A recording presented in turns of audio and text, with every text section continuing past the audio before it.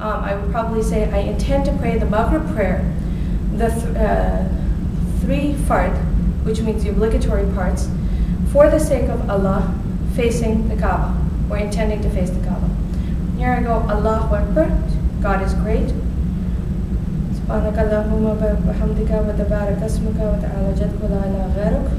Then I recite the chapter of the Quran that is the opening chapter, and um, I'll tell you how it sounds and then translate.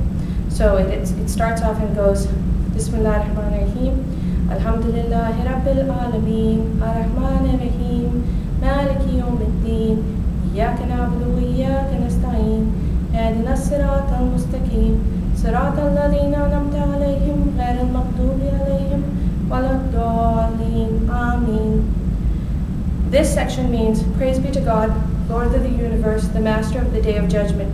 you alone we ask for help. You alone we, uh, you alone we ask for help. Show us the straight way, the way of those whom you have favored, and not of those who anger you or go astray.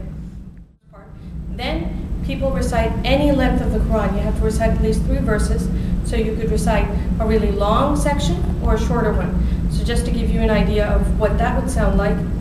Bismillah ar-Rahman ar-Rahim. In the name of Allah, the Beneficent, the Merciful. قل هو الله أحد الله الصمد لم يلد ولم يولد ولم يكن له كفوا أحد. So this is one of the very small ones that most people learn. From here you go here, Subhanallah. God, you are the most wisest. Sami Allahu liman hamida. God hears the prayers of those who um, praise Him. Praise be to God. Allahu Akbar. Subhanallah. Prostration is the most sacred position for a Muslim, and Muslims are not supposed to bow down to anyone except God. So, in that particular position, you're to imagine yourself at the feet of God, and you're closest to God.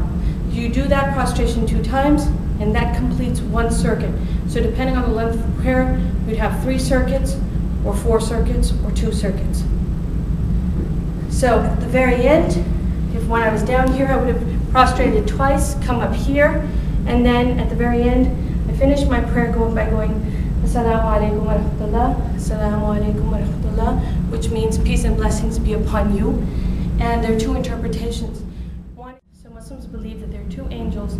The right one records your good deeds, the left one records your bad deeds.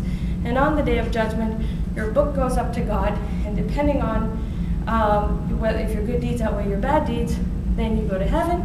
If they don't, you go to hell. So, so the, one of the interpretations is that you're saying salams to those two angels. Another one is that if you're in a congregational prayer, you're also saying salams to the person next to you.